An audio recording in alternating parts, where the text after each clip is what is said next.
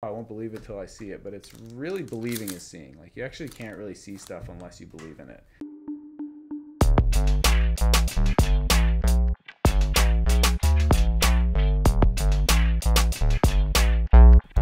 Welcome back to another episode of the Johku Shoku, where I strip and packs and talk about an eclectic variety of things. Today, I'm going to be talking about this thing called Qigong. I don't know if you've heard of it, but before I talk about it, I want to get into showing this Sweeto deck box that I got from Dueling Guard. I'm actually doing a collaboration with them in the future with some cards. They're very exciting, but this is the deck box.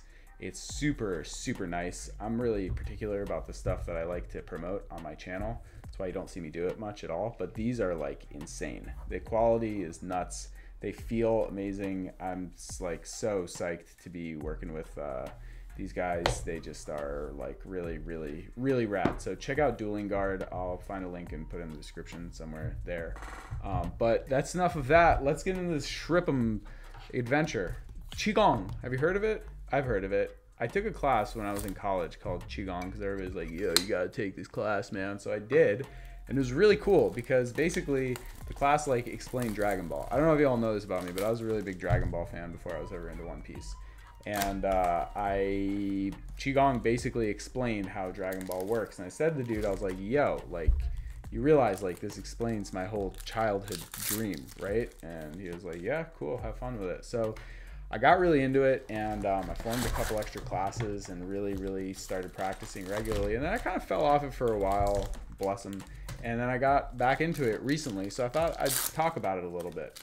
So, if you all have ever heard of Qi, Qi is like energy, matter, and information, is the way that I learned it and what they talk about when they talk about Qi. It's also called Qi, or a number of other things in different languages, but it, uh, Qigong specifically is from traditional Chinese practice. It's based on the Taoist philosophies of yin yang, so it's all about kind of balance and. Oh, look at that! I got two Whitebeard pirates just like that. Nasty. I'm nasty at this game. I would love to pull another pops. I still have only pulled one pops out of all of these alt art packs, and I haven't been particularly good at summoning cards out of here, but maybe if I focus my chi, it might happen. But it's kind of hard to do that while I'm like, you know, talking and doing all this stuff. You gotta just let it flow. But anyway, basically it's a the practice I do is a daily practice of focusing. That's crazy.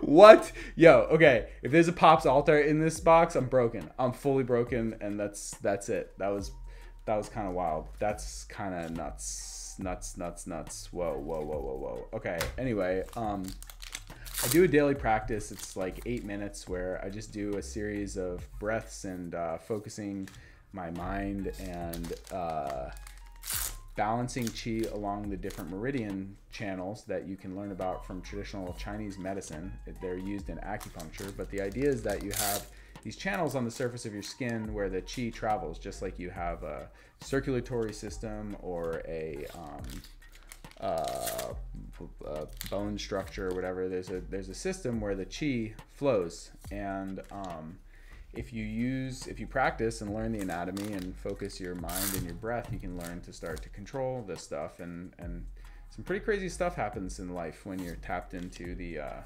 tapped into the power of the universe. But what's cool about Qigong is like really every shonen kind of borrows from some sort of ideology like this where you have some kind of mindfulness practice that allows you to tap into like this type of energy in your body. And in one piece i think it would basically be like haki. in dragon ball it's ki in naruto it's chakra. But they, this is not like a new idea at all or some brand new thing. This is something that's existed for a very long time that has existed in many different renditions. And you know the human mind is a very uh, vast and amazing and interesting piece of I don't know if it's a piece of the thing, but your brain does some pretty crazy stuff. And learning to use your breath um, and control the way that it directs stuff within your body is something that can really have a lot of interesting health benefits. Um, but something you want to be careful of is that you're doing it properly. You don't want to be focusing chi in the wrong directions and the wrong channels. It can actually create some like physiological problems. So you want to make sure that you have some teaching of it or that you're referring to something that has the proper information and that you're focusing in the right way while you're learning to work with this new part of your body. But one of the really interesting things that I learned about this practice is, you know, um, my whole life I've heard this phrase "seeing is believing," or people saying like, "Oh, I won't believe it till I see it," but it's really believing is seeing. Like you actually can't really see stuff unless you believe in it, and that's one of the things about chi is that you really can't interact with it if it's not something you actually believe is there. So gaining an understanding, and for me it was, oh, Izo! yo, that's a that's a sick box. I'll take that. I will take that all day, no problem. Yes, that's wild. I needed another ace, and I would love to have another Oyaji. So that's my two Oyajis and my ace. But yeah, learning to focus this stuff is, is really helpful, and I'll talk about a little bit more in next week's video. Thank you, gozaimasu, and I'll see y'all next time.